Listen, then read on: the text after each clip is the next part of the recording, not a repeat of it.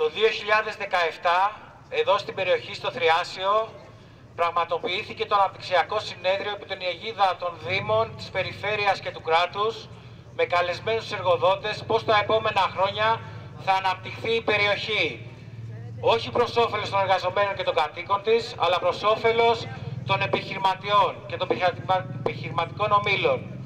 Τι έχουμε μέχρι στιγμής, έχουμε όπως είπαν και οι προλαλήσαντες ανάπτυξη στα ΕΛΠΕ με τους αγωγούς και τη δημιουργία του προαστιακού μέχρι τον Ασπρόπριγο και την Ελευσίνα. Έχουμε το διακομιστικό κέντρο που θα επιβαρύνει περισσότερο την περιοχή κάτω στο λιμάνι δίπλα στη Χαλιβουργία. Έχουμε τα λιώσια με περισσότερα χρήματα για να γίνεται χειρότερη ζωή των εργαζομένων και μια σειρά επενδύσεις για τους ομίλους και τις επιχειρήσεις που επιβαρύνουν το ποιοτικό τη ζωή και την ποιότητα της ζωής των εργαζομένων. Στον Αντίποδα έχουμε χιλιάδες κατοίκους στην περιοχή που μένουν και δέχονται όλο αυτό το πλήγμα αυτή της πολιτικής και εκατοντάδες χιλιάδες εργαζόμενους που ταυτόχρονα έρχονται επισκέπτες για να δώσουν το μεροκάματό τους, να δώσουν τα χέρια τους για να δουλέψουν και ζουν μια πολιτική που έχει ένα νοσοκομείο για εκατοντάδες χιλιάδες εργαζόμενους, υποστελεχωμένες δομές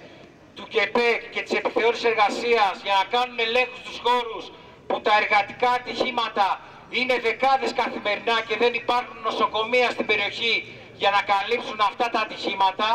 Έχουμε ανάπτυξη όπως τα ναυπηγεία που δόθηκαν εκατομμύρια με εγκαταστάσεις όπως πριν 10 χρόνια με εργαζόμενους να χάνουν τη ζωή τους και να τρέχουν στα νοσοκομεία σακατεμένοι.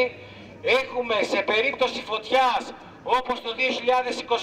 2021 με την έκρηξη του σταθμού του, του ΔΔΕ να μην έχει φως η περιοχή και οι εργάτες και ο κόσμος να τρέχουν προς τα βουνά γιατί ο πλησός στα δηληστήρια έφτασε και φώτισε όλη τη Δυτική Αττική αυτό φόβο για ένα βιομηχανικό ατύχημα και ταυτόχρονα καμία φροντίδα σε περίπτωση μεγάλου βιομηχανικού ατυχήματος ο κόσμος εδώ πέρα να προστατευτεί. Δεν υπάρχει ούτε ένα στοιχείο που να φροντίσει την υγεία, την ασφάλεια των κατοίκων και των εργαζομένων. Σε αυτό το πλαίσιο εδώ πρέπει να δούμε τα σωματεία, οι φορείς, οι σύλλογοι γονέων, τα μαθητικά συμβούλια, να προχωρήσουμε, να βάλουμε μπροστά μας την ανάγκη για δημόσιο ε, σύστημα προστασίας των εργαζομένων και των περιεχών, να βάλουμε σε, σε προμετωπίδα τη δημιουργία νοσοκομείου επιπλέον πέρα από το Θριασίου, να βάλουμε να ενισχυθούν τα, μέτρα προ... τα, τα κέντρα πρόληψης επαγγελματικού κινδύνου, ώστε οι εργαζόμενοι να πηγαίνουν στις δουλειές τους και στα σπίτια τους χωρίς να φοβούνται σε περίπτωση ενός ατυχήματος αν θα φτάσουν ζωντανοί ή όχι. Δίνουμε, κλιμακώνουμε τη μάχη 28 του μήνα με την απεργία, εδώ η περιοχή να δώσει φροντερό